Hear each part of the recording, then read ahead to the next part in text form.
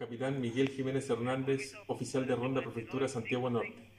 A través de un seguimiento controlado que se desarrolló por diferentes comunas de la capital, Carabineros logró detener en Quilicura a tres menores de edad que se desplazaban en un vehículo con encargo por robo.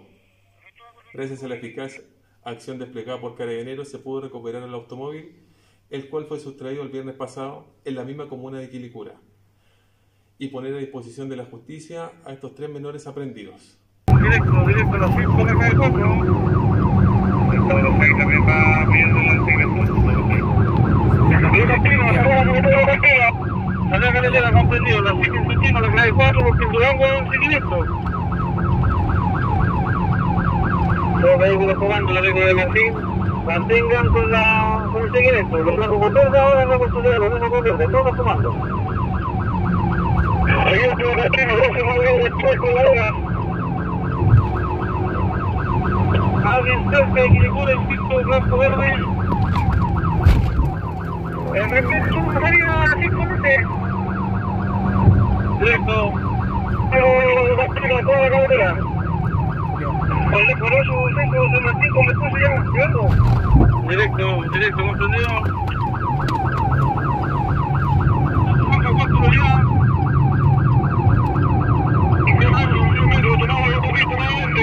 ¿Cuánto